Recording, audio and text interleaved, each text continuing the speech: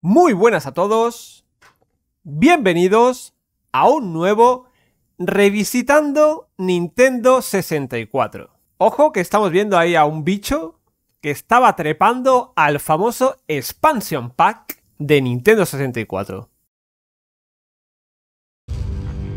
En el día de hoy vamos a ver un juego que en mi casa lo tuvimos y no es otro que Hybrid Heaven o Hybrid Heaven.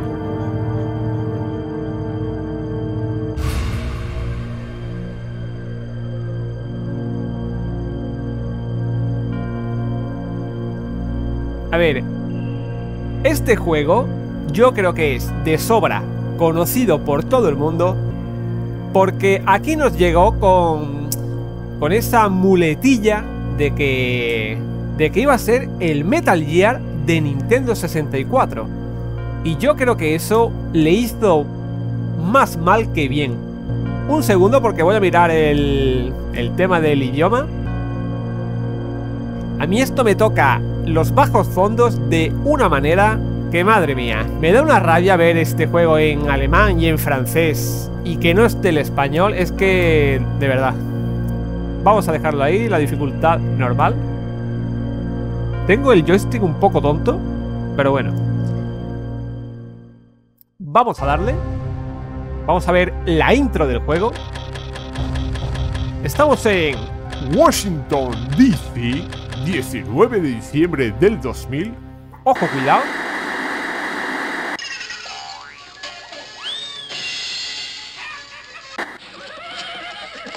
Vale, aquí estamos viendo al teórico protagonista del juego. Gráficamente me parece que está bastante bien. Obviamente a nivel poligonal, ¿no? Pues es lo que había en aquella época. Pero me parece que está bastante bien. Incluso... Incluso me gusta, ¿no? Cómo se está moviendo, cómo mueve la boca, los ojos. No recuerdo si hay subtítulos. Pero me da que no, ¿eh? Y ojo, cuidado que el prota está en pelota. Aquí vemos a Johnny Culito Prieto. Acaban de picar al timbre. Muy típico esto de que te estés duchando y te llamen y que tú abras con todo el manubrio en ristre, ¿no? The substitution of the president will be executed the day after tomorrow in New York City. You are not to leave the president's side no matter what. Everything depends on that moment when there's no one but our operatives around him.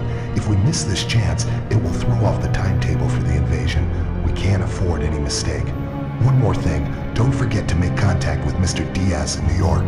He'll bring the tools and the weapons you need. That'll be all. Let's make this work. But man, put some clothes on, will you? And don't forget to act like a human once you're overground. A ver, pues parece que no, que no tenemos subtítulos y lo que yo he entendido es que vamos a hacer como de guardaespaldas, ¿no? De, del presidente. Nos llama nuestra novia para decirnos cualquier tontería.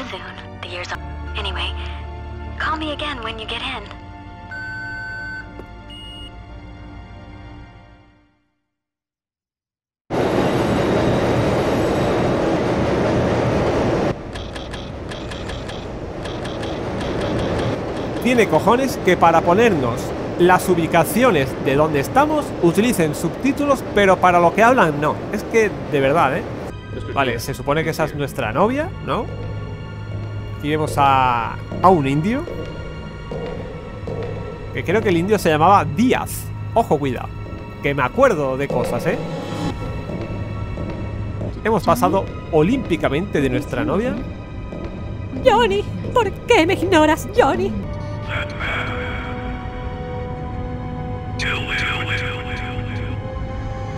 Ojo, cuidado.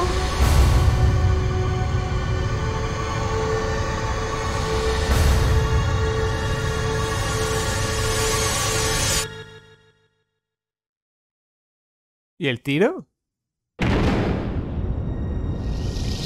Why did you shoot? Not now. There's something wrong with Mr. Diaz. We've got to get him below ground. There's a witness. The evidence is gone. ¿Pero qué ha pasado?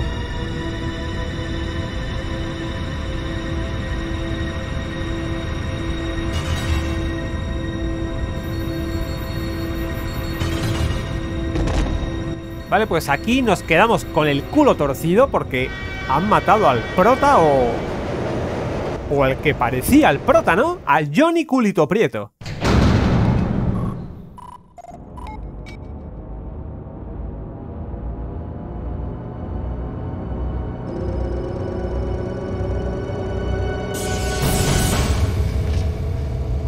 Ojo, que se ha liberado.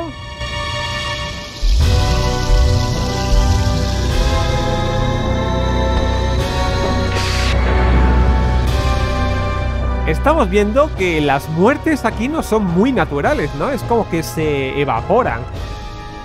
No recuerdo si es que esto es así o es que algo pasa para que... Para que el que sea que muere muera de esta forma tan llamativa. Ojo, hay aquí un duelo épico en el ascensor.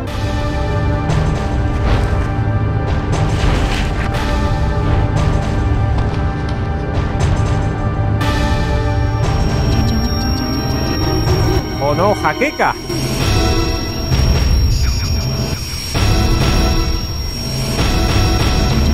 Se la pega, se la pegó.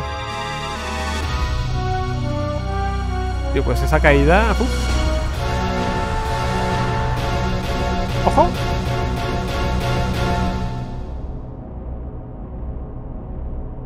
Se ha liberado del costalazo. Gracias a alguna especie de... No sé. De campo de fuerza o algo raro.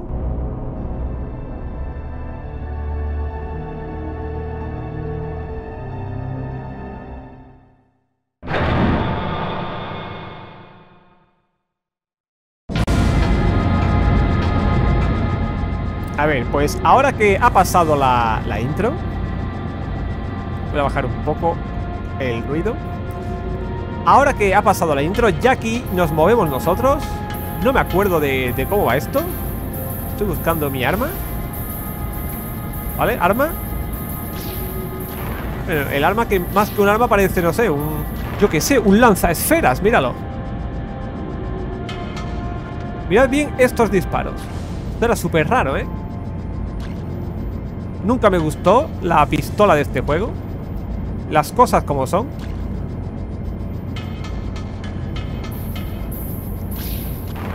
Vale, a ver.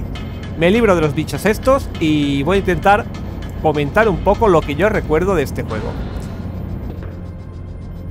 El juego tiene una trama bastante oscura. De hecho, ya habéis podido ver un poco la intro, aunque no sé si le habré pegado un poco de tijera porque no pasa gran cosa. Pero el juego no te explica nada. De buenas a primeras te ves ya aquí, inmerso en todo esto con un personaje que ha matado al que parecía el prota y no te explica nada, ni quién eres, ni dónde estás, ni de qué va esto. Vamos a hablar con el cabezón este. Mr. Díaz, ya debes saberlo, pero hay una cosa que debo decirte. El sistema de seguridad solo responde a algo y para asegurarnos hemos cambiado el código de la puerta. Cuando quieras ir a otros bloques, eh, por favor renueva el, el código de tu llave. ¿Algo va mal? ¿No tienes tu llave? Debes haberla perdido en algún lado. Por favor, llévate esta llave de emergencia. Me la puedes devolver cuando te salga de los bajos. Muchas gracias, Johnny. No sé yo qué haría sin ti. Vámonos por aquí. Por esta inanimada escalera. Uf, la cámara. Estoy pasando fatigas con la cámara porque es bastante inexistente. Vale, puerta allí, puerta aquí. Vamos por aquí. Vale, vamos a insertar el código. No, no funciona. Hay que renovarlo. Como nos ha dicho Johnny. A ver, el juego, lo que iba a decir Se nos vendió aquí como, como un Metal Gear Y tú imagínate esperar un Metal Gear y que te llegue esto Pues la decepción sería monumental. Yo no recuerdo bien en mi casa cómo... Cómo caló este juego. Porque nosotros sí tuvimos Metal Gear 1 y también tuvimos este. Y yo no sé si nos lo compramos esperando un Metal Gear. Seguramente sí. Porque se le dio mucho bombo. ¡Ojo al salto, eh! ¡Madre mía! Se le dio mucho bombo con que iba a ser el Metal Gear de Nintendo 64 y claro, te llega esto y ahora dices, ¿esto qué es? Esto no va ni de sigilo, ni de espías, tienes una pistola que lanza esferas que no van a ningún lado, pues esto obviamente es decepcionante. Por favor, introduce tu llave. Por favor, espera, bla, bla, bla. Vale, se acaba de... De reprogramar. Que sí, que ya se ha renovado, venga. Y eso, pues... El juego, si te esperabas un Metal Gear, esto era una decepción. No se parece en nada, pero... El juego realmente... A mí me parece un gran juego. Es muy original. Más que un juego de acción y que un juego de... De infiltración, estamos hablando de un RPG. Es, esto es un RPG de acción, ¿vale? No sé si podremos mirar aquí las estadísticas, pero aquí tenemos nuestra lista de técnicas, de objetos. Bla, bla, bla. Me va como el ojete el mando. Aquí veis, aquí vemos nuestro nivel, eh, nuestro poder de ataque, la defensa, la velocidad. ¿Qué más tenemos? Técnica de vistas. Aquí podemos ver nuestro tipo de puño, de patada, de técnicas, porque el juego, las peleas son casi por turnos, pero no son por turnos. Esto, si lo habéis jugado, tenéis en mente cómo son las peleas, pero si no lo habéis visto nunca, os va a llamar mucho la atención. ¿Esto qué pasa? ¿Hay aquí una caída letal? ¡Sí! Pues si era letal, estaría muerto. Menos mal que no. No sé. A mí es un juego que recuerdo con bastante cariño, pero sí que recuerdo que era muy difícil para mi edad. Que no importa tu vida, quítate. Al parecer está habiendo un ataque en las instalaciones. Vamos a bajar por aquí. Bueno, pues aquí estamos. Bajando la bajada eterna. Esto era un poco tedioso, ¿eh? Lo de destruir las cámaras de seguridad cada 2x3 era un poco... Y el juego tiene momentos en los que yo... Yo llegaba a pasar miedo, pero es verdad que yo he sido un gran cagao de los juegos y yo cualquier cosa que era así un poco más oscura y más rara ya me daba miedo. Pues que yo recuerde, básicamente en el juego teníamos que ir investigando, ¿no? Ahora mismo estamos aquí sin saber nada, tenemos que ir investigando para saber quiénes somos, para descubrir el contexto de, de, de dónde se desarrolla el juego, porque es que no sabemos nada. Nos han soltado aquí y ala, búscate las papas. Y para ello pues tenemos que sobrevivir a, a todo tipo de, de, trampas, de puzzles, de combates. Dale al botón. ¿Esto, esto cómo va?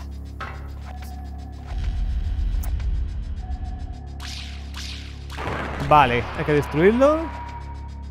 Se supone que me he cargado el láser este. ¿Estas cápsulas creo que son para guardar o qué? O me lo invento.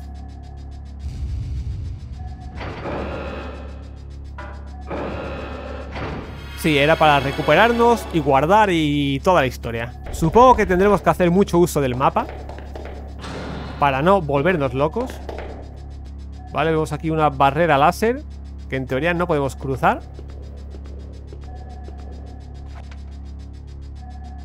¡Ajá! ¡Te pillé! Bueno, pues se supone que esto era un rompecabezas. Se supone. ¿Y esto qué? Vale. ¿Elevador o qué es esto? ¿Un escáner?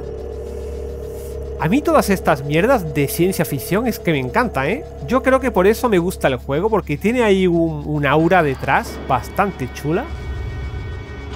Y yo creo que es un juego que te engancha y que te atrapa por su historia. De hecho, eh, me pasa un poco como me pasaba con, con Body Harvest. que lo estoy jugando y siento ganas de, de seguirlo, de avanzarlo, de, de llegar a pasármelo. De hacerle una buena guía manca. Pero no sé. Quizá algún día. De momento esto va a ser un revisitando, un solo vídeo. Y poco más. Pero ya te digo que a mí me genera algo que me apetece querer descubrir más. Vale, pues no sé qué hemos hecho, nos han analizado, se ha abierto una porquería y han saltado todas las alarmas. Vale, pero esa puerta ahora está abierta, ¿no? ¡Ojo! Mr.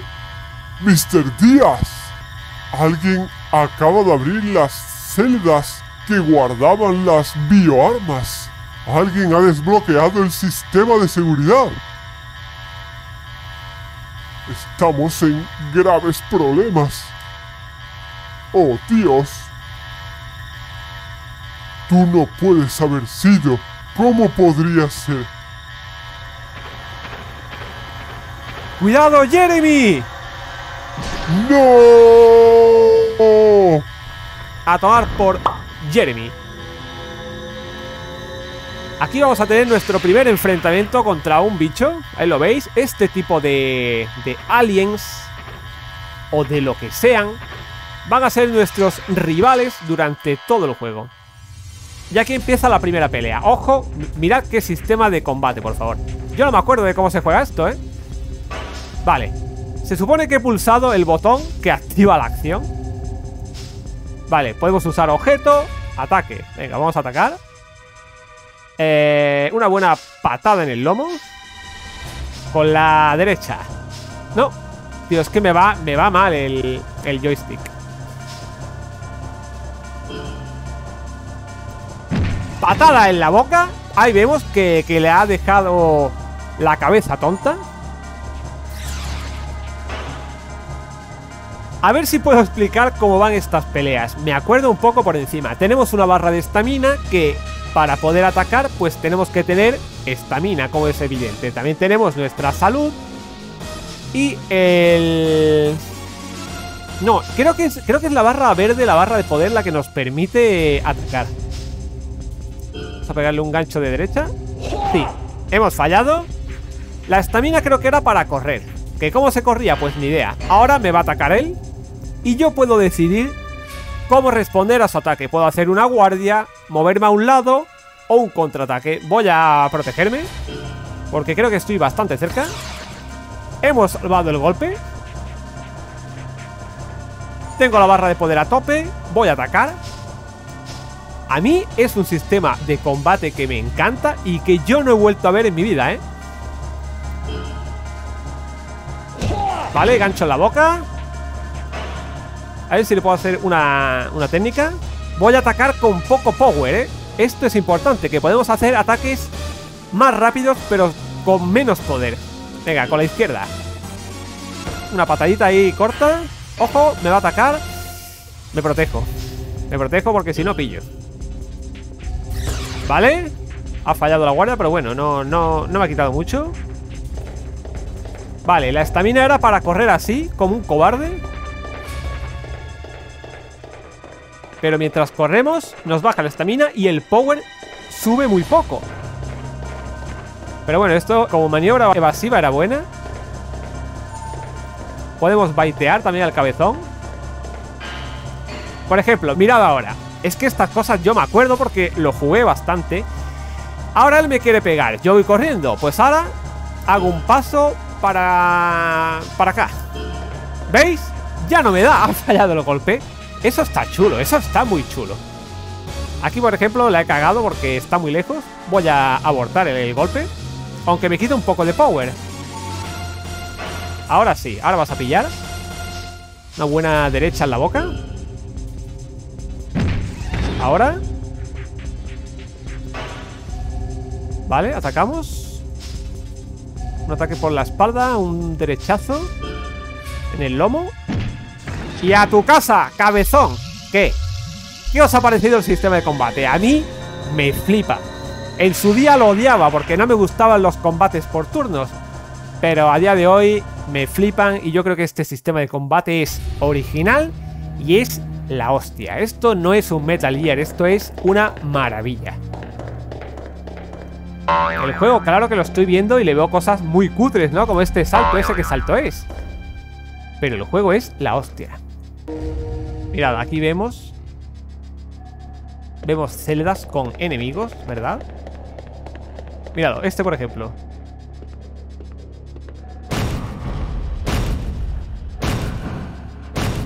Esto en su día tú veías esto y, te impresionaba, ¿eh?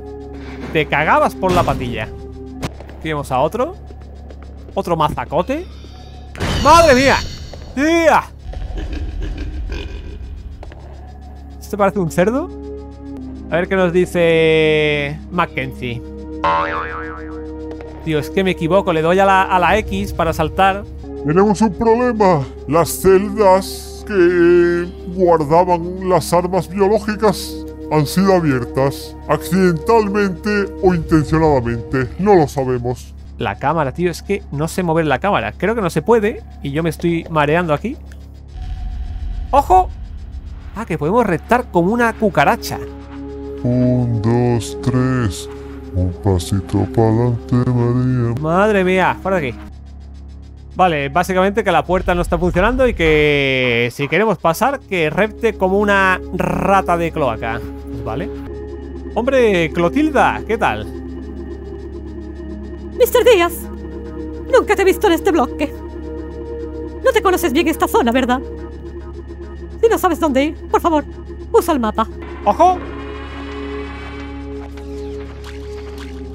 Aquí vemos que la pistola es totalmente inoperativa. Y bueno, pues otra pelea porque podríamos haber escapado, pero...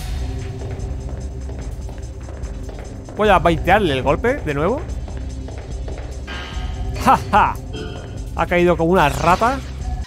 Un golpe, un gancho de derecha. Vale, puedo pegarle una buena patada. Una zurda. Zurdita de oro. Y como sigue empanado, un puñetazo en el hígado.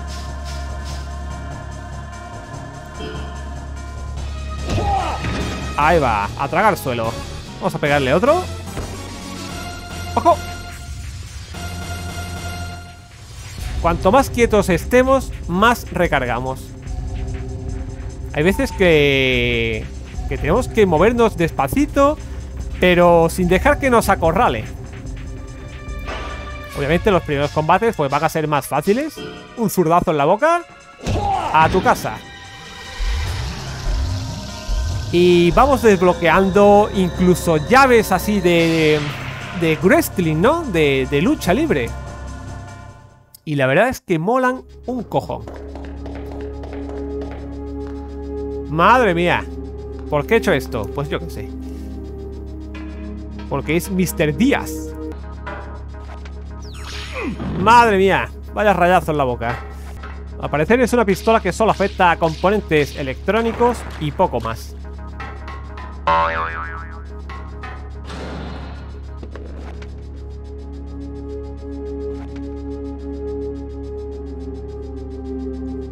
Aquí podemos ver que el ambiente es bastante tétrico, ¿no? Es, es mal rollero. Aquí vemos esta sangre de monstruo. No sé si será verde por la censura. Probablemente. ¡Ojo! Que no, que, que no lo he visto, ¿eh? Que no lo había visto. Esto, yo en su día seguro que me cagué. ¿Qué le hago? ¿Una buena patada en el lomo? Me la puedo esquivar, ¿eh? ¡Al suelo! Ojo, que acabo de aprender una habilidad El salto de la gamba Yo esto no sabía hacerlo, ¿eh? Da un paso adelante, ahí, ahí Un pasito para adelante Y zambombazo en la boca Zascataplan Pues he aprendido el salto de la gamba Oye, pues es súper útil, ¿eh? Aunque esta es más floja, pero como ahora tengo la gamba, me retiro. Venga, a casita. 5-0, GG. Hemos subido de nivel, aquí nos aumenta pues la vida, eh, el ataque, la defensa. Y si mal no recuerdo, si utilizamos más la izquierda o la derecha, pues vamos mejorando. Pues nuestro brazo derecho, nuestro brazo izquierdo. Ahí vemos los niveles que tenemos. Tenemos uno en todo. E incluso el cuerpo podemos mejorar. Y la cabeza, porque podemos aprender un cabezazo, ¿eh? A ver, eh, soy consciente de que quien esté viendo este juego por primera vez, pues seguramente no va a entender por qué a mí me, me gusta tanto. Esto está siendo un habitual de, de revisitando Nintendo 64 y obviamente el que lo jugaras en la época, pues, pues hace, ¿no? Hace bastante. Hace que un juego te calara en su día y entonces hoy lo ves con más cariño. Pero a mí me gusta preguntar a quien, a quien no lo jugó que qué le transmite este juego a día de hoy. Si lo ve, lo ve cutre, yo entiendo que gráficamente pues no es la gran cosa. Pero me gustaría que vea más allá, ¿no? Que sea capaz de, de quedarse con lo que representaba este juego en su día, ¿no? Con lo que intenta innovar, con lo que aporta. Sabiendo el mercado que ya existía. Mira, este me ha intentado coger. Es verdad, hay un botón para coger. El R1. ¿Y ahora qué? Y me gustaría, pues eso, que, que me diga si, si le parece muy malo o, o- o- le ve las virtudes como lo hago yo. Eh, me va a intentar hacer una llave, así que yo puedo intentar, pues, escapar o devolvérsela. Voy a intentar devolvérsela, a ver si puedo. Pues se ve que no, me ha hecho ahí un next throw. Me ha reventado, de hecho, esas llaves hacen muchísima pupa, ¿eh? No. Tío, mirad mi vida, por Dios, mirad mi vida. Voy a correr por mi dinero. Vamos a usar un objeto. ¿Puedo? Sí. Refresh. Vale, vamos a refrescarnos. Los monstruos también van a ser capaces de, de utilizar objetos, ¿eh? Y de hecho tenemos también, que me acabo de fijar, armas. En algún momento podemos conseguir pistolas que, que congelan, que hacen efecto fuego y mil historias más, ¿vale? Eso también pues le da un componente táctico al juego muy chulo. Que te pillen con estas técnicas era lo peor. Gancho en la boca. Y, y este ya sabe pelear. Si lo estáis viendo, el, el nivel de este no tiene nada que ver con los anteriores, ¿eh? No sé cómo, pero lo he pescado yo. Al suelo. Venga, ha muerto, menos mal, porque madre mía, vaya paliza que me estaba dando. Bueno, pues no sé cuánto llevo grabando. Supongo que...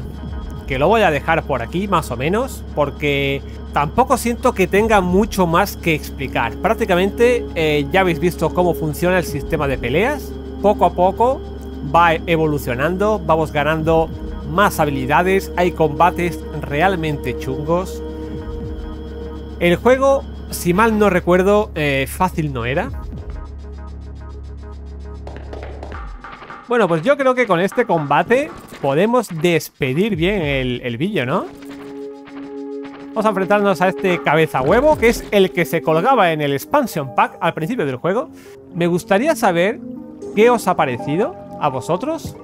Para mí es un juego que si bien no es de esos juegos que me flipa, sí que es un juego que, que siempre ha tenido mi, mi admiración. Es un juego valiente, es un juego que, volveré a decirlo, aunque se nos vendió como un Metal Gear, el juego no lo pretendía en ningún momento. El juego es algo totalmente novedoso, era una historia de, de cine negro mezclado con un RPG de acción, de peleas. Es que tiene cosas muy, muy, muy locas. Sí que me da mucha rabia que, que no nos llegara en español porque seguramente nos habríamos enterado mucho mejor de la historia, lo habríamos disfrutado más, nos habría motivado a pasárnoslo pese a la, a dificultad, pero es verdad que, que yo recuerdo que mi hermano mayor se lo pasó y yo no sé si él recordará bien de qué iba la historia, pero la historia no es fácil. No es una historia sencilla de entender, es más bien de estas de que cuando lo terminas dices, pero... ¿Pero qué ha pasado aquí, no? Y obviamente la barrera del idioma pues estaba ahí. Encima no viene ni con subtítulos, que todavía te podías defender un poquito. No, no, aquí puro listening. Y nada, pues lo dicho, me gustaría que me dejarais en los comentarios qué os ha parecido este juego, si lo jugasteis en su día, si, si lo llegasteis a tener Contadme si os pareció un truño, si os decepcionó porque esperabais algo más rollo Metal Gear o si por el contrario fue un juego que os enganchó, que os enamoró y del que guardáis un grato recuerdo. Eh, no sé qué más añadir. A nivel musical es un juego que, que, tiene algún que otro tema así chulo, ¿no? Como, como el que hemos escuchado durante la intro, pero tampoco es su fuerte. Yo creo que el fuerte del sonido de este juego pues está en, en los golpes, en, en, toda esta atmósfera así un poco más asfixiante, ¿no? Como, como más lúgubre. Yo creo que genera una sensación de, de misterio, de soledad bastante buena. Gráficamente yo no lo veo no lo veo demasiado mal. Obviamente el tiempo se le nota, ¿no? Siento que es una de esas joyas que si no tuviste una Nintendo 64, pues prácticamente es un juego totalmente exclusivo, inédito.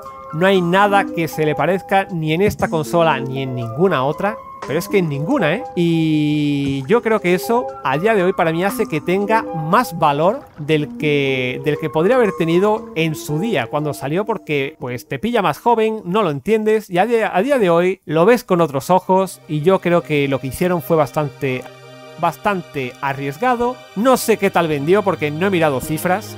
Supongo que vendería regular, pero yo estoy seguro de que quienes tuvimos este juego guardamos un recuerdo especial tanto para bien como para mal, yo creo que es un, recuerdo especial.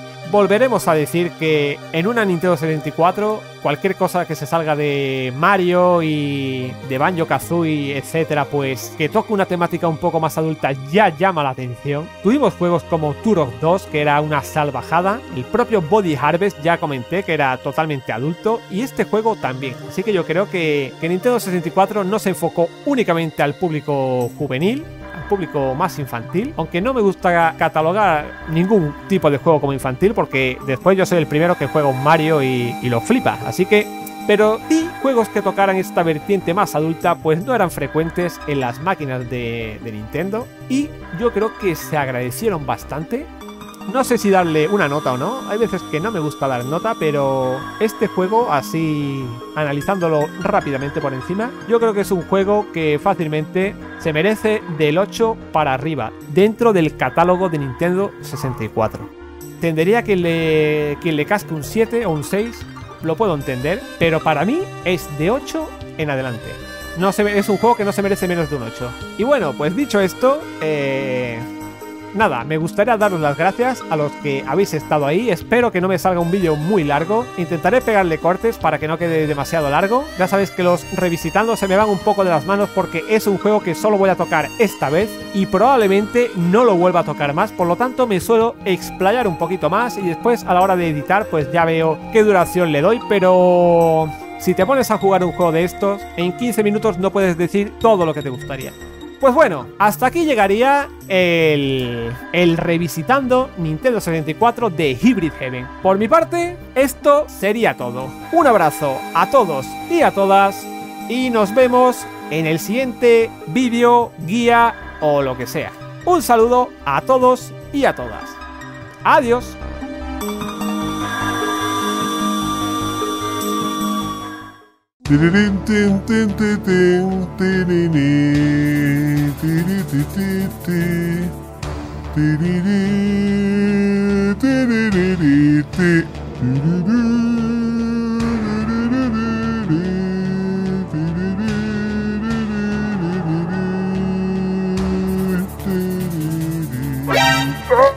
Ah!